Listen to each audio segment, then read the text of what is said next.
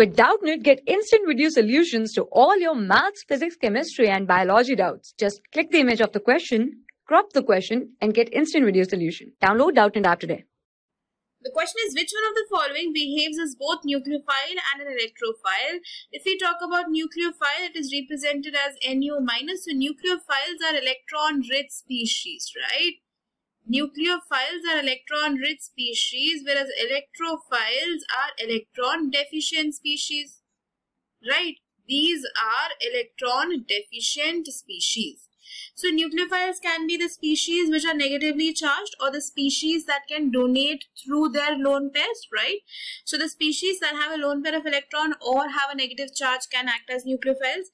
Whereas if you talk about electrophiles, these are the species that are positively charged or which are electron deficient and can act as Lewis acids can be regarded as electrophiles, right? If we talk about acetone here, now acetone is CH3, C double bond O, CH3. Now here oxygen has two lone pair of electrons on its oxygen atom basically so it can donate through uh, it can donate the lone pair of electrons and therefore it can behave as a nucleophile right now if you talk about this carbon here now as it is attached to oxygen oxygen is uh, electronegative in comparison to oxygen uh, sorry carbon Oxygen is electronegative in comparison to carbon. Therefore, carbon is going to have a delta positive charge due to which this can act as a electrophilic center, right? Due to which this carbon can act as an electrophilic center. So basically if you talk about acetone, then acetone can act as an electrophile as well as a nucleophile, right? So oxygen is going to have a delta negative charge also. Also it has lone pairs through which it can donate and therefore it can act as a nucleophile. Whereas if you talk about this carbon, it has a delta positive charge and therefore it can act as a electrophile, right?